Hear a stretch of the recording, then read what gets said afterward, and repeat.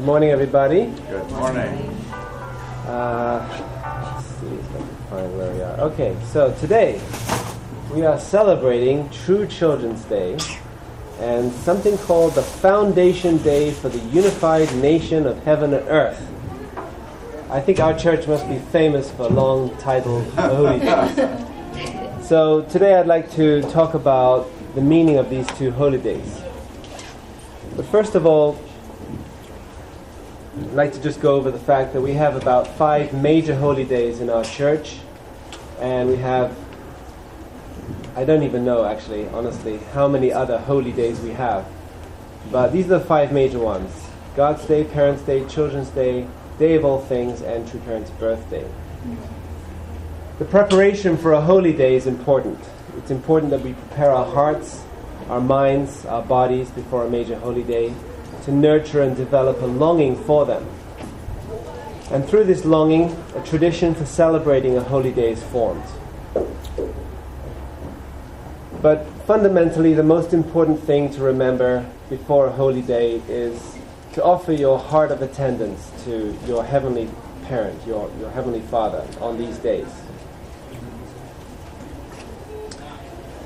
As St. Paul pointed out, purifying ourselves from everything that contaminates the body and spirit out of reverence for God is the main, basic, core, fundamental attitude that we should have. So today we are celebrating the 54th True Children's Day. It was established back in 1960. Where were you in 1960? exactly. So it's been around, and we're also celebrating the 26th Foundation Day for the Unified Nation of Heaven and Earth. That was in 1988. What happened in 1988? Does anybody remember a main sporting event that happened in 1988? The Seoul Summer Olympics. Yeah. So we'll be talking about that.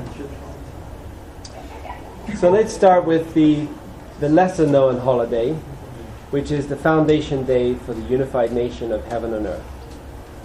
So, to talk about that, let's go back and explain more about what happened before that event took place.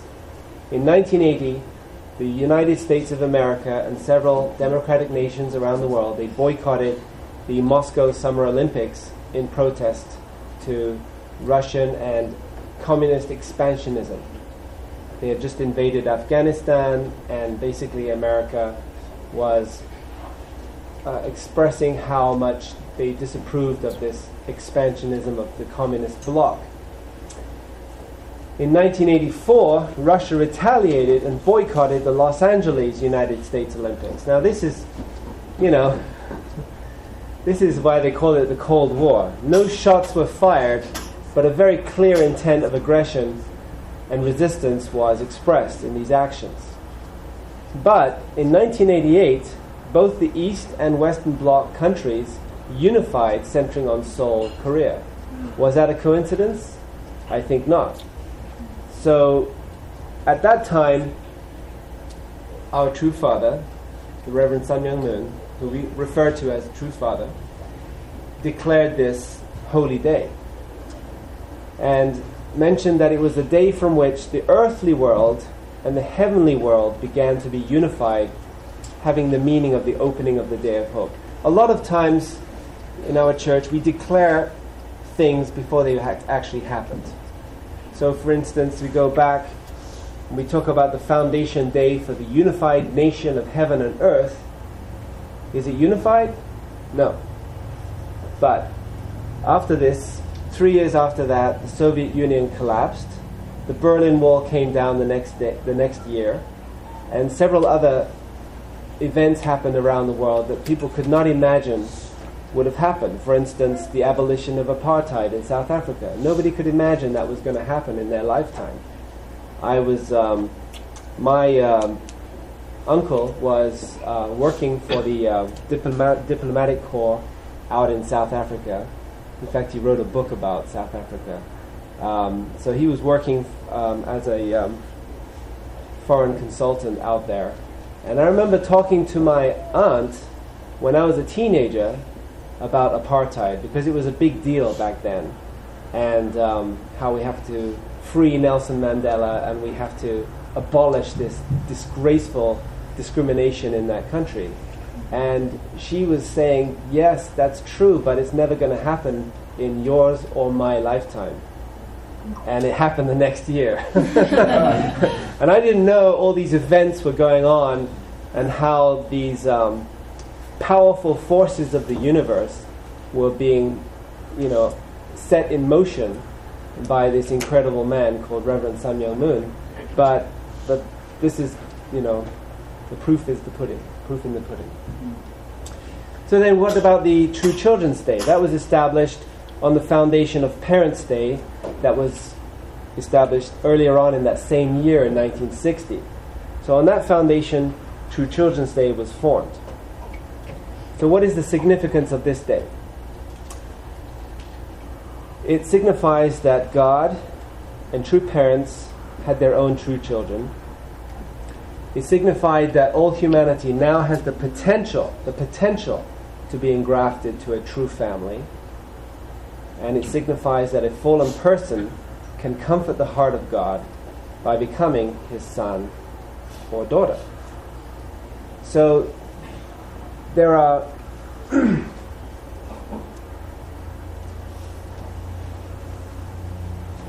fundamental understanding in our church is that God is missing his children. The human fall was not supposed to happen, but the result of the human fall is that God is missing his children. And we, children, are missing our heavenly and true parent. So that divide is basically the source of so many atrocities and difficulties and calamities that have happened in this world over the last thousands and thousands of years. so the three fundamental tenets of our church then is that God is the grieving parent of all people. We are the children who can understand God's grief. We have that capability, we have that capacity, we have that ability to do that. And we are the children who can therefore comfort the heart of God. in a uh, speaking tour in 2004, Reverend Moon said this, and I'd just like to read it because it says it better than I could ever say it. God created human beings as his children. What then is the connection that binds each of you to God? It is the love and the heart between parent and child. Yet, human beings, having lived for thousands of years, under the influence of the fallen realm are still slaves in our hearts to false parents, to false love, and to false lineage. If we are to escape from this yoke, we must constantly live lives of true love, practicing forgiveness, and always giving to others.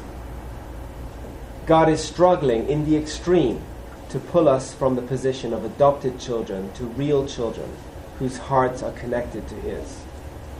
He has grieved along with history more than any of us. So, this is kind of shocking, I know, to people from the uh, Judeo Christian faith, in that we are taught to understand that God is this all powerful, omniscient, omnipotent God. God can do anything. But the reality is, even though God is all powerful, but God has endowed each and every one of us with a portion of responsibility that He will not violate. He will not take away your portion of responsibility. That is yours to, to mold, to become a co creator in this universe. And the, re- the result of losing our connection with God, losing our relationship with the heart of God has meant that we are fumbling in the darkness, trying to figure out how to be happy, which is what we are programmed to, to, to do, and yet we are lost in knowing how to accomplish this. And so we're fumbling all over the place, doing all kinds of crazy things, making up all kinds of crazy laws, you know, convincing each other of all kinds of crazy ideas And yet, fundamentally, the one thing, the one thing that can secure, that can guarantee our peace of mind is our relationship with God, our Creator. And having lost that means that we ourselves have been lost. So, reconnecting ourselves with God is our fundamental purpose at this stage in our life. So, again, Reverend Moon is trying to express this. We may have a lot of confusing problems, but there is only one fundamental problem in our hearts. It is the fact that we have lost our parents. Humankind's loss of the parents and Heavenly Father's loss of his children has to be recovered.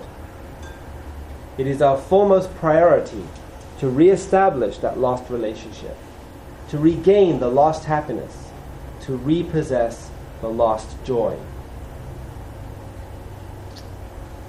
So, in conclusion, on this holy day, the day true children, how do we live as a true child of God? Spend time with God. What does that mean? Reflect, meditate, pray, read, study God's words, enter into discussion. That's what we're going to do next. Spend time with God, and that doesn't mean on your own necessarily. It can mean being with people, seeking to understand God's heart and love. This is something we can reveal, we can get exposed to us through prayer, through meditation, through reading the holy texts. To develop a full heart of love, and when I say full, I mean it's important to love our parents, to love our brothers and sisters, to love our spouses, to love our children. That's what I mean by a full heart of love. I remember the experience I had as a teacher in Seoul, Korea, several years ago, just before my son was born, um, who's the first child in my family. Uh, didn't know it was going to be four more after that. but um, I remember the day before, I was in a I was in an English class, and it was uh, exam season. And I remember thinking to myself, it was a frustrating time as a teacher. First of all, I wasn't very good at it. I had had no official training as a teacher. And second of all, um, I didn't really appreciate my students all that much, I have to be honest. I didn't feel they treated me with much respect, and uh, I didn't really know what I was doing, to be honest with you. But at that time, it was a very confusing time in my life, and I just, um, you know, started family with my, my, my wonderful wife, um, and she was due to give birth to our first son. And uh, right in the middle of this exam season, there I was standing there, you know, thinking to myself, ah, oh, you know, here we go again. I'm not really appreciating my students, blah, blah, blah, blah.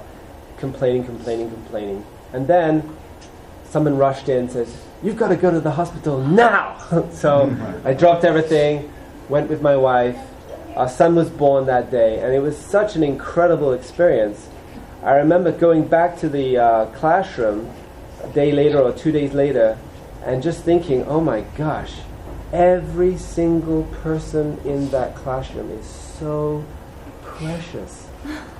Maybe not to me, but to somebody. And as a representative of each and every one of their parents, because their parents were in America or in Europe, as their representative, I had better do a better job at appreciating each and every one of them.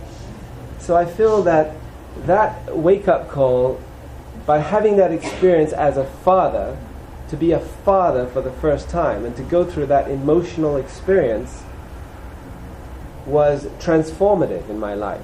The students became, they transformed from brats to precious heavenly creatures. in, in just, you know, basically it was, it was a moment. It was a moment. That transformation took place through that experience and that was the result of it.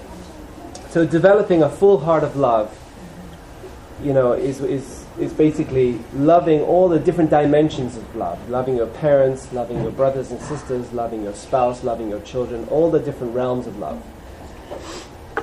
And uh, what else can we do as a true child of God, to become a true child of God? We can use our gifts and talents for the sake of others. Everybody has gifts and talents. Everybody's unique in the universe. That's why we all disagree with each other. Because we're all so different. And that's a wonderful thing.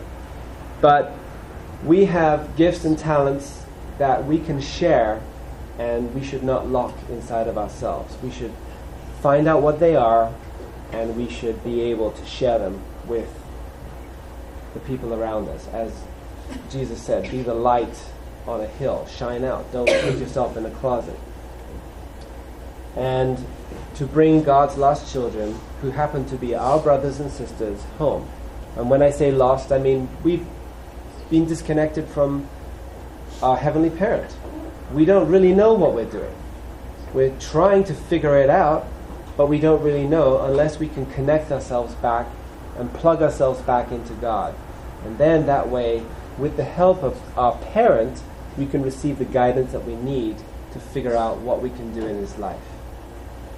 So I hope that today can be a transformative day for each and every one of us, and that we can appreciate this day, the uh, True Children's Day, a holy day in our church, and that we can um, participate and practice how to live as a true child of God. Please join me in prayer. Heavenly parents, true parents, we pr- really appreciate this time that we have together. It only happens once a week for a few hours. And during this time, we have an opportunity to connect with you. We have an opportunity to connect with each other. And we have an opportunity to reflect on our past week and to redetermine whatever it is that we feel we need to do for this coming week. So we pray for your guidance in each and every one of our lives.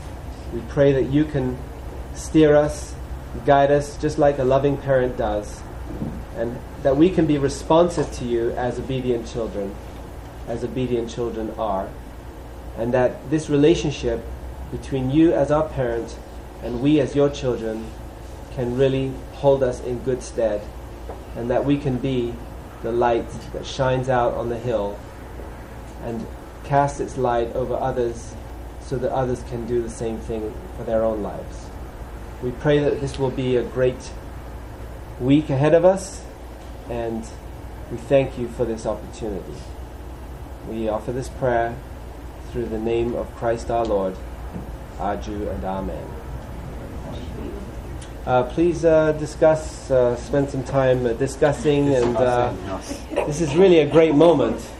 So don't lose it. Thank you.